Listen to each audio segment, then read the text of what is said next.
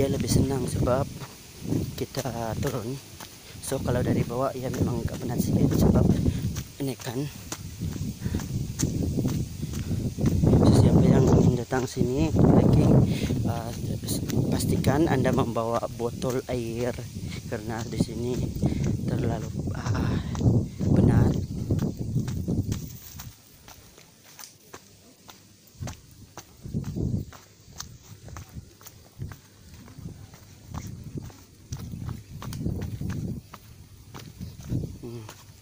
Kalau ah iya. Di sini kalau turun kalau turun dia cepat sedikit lah. Cuma kalau yang naik tuh uh, naik tuh uh, ya agak lambat sedikit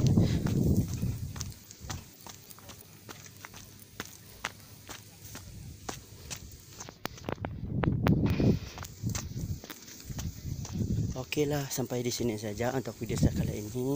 Jangan lupa like dan subscribe video saya.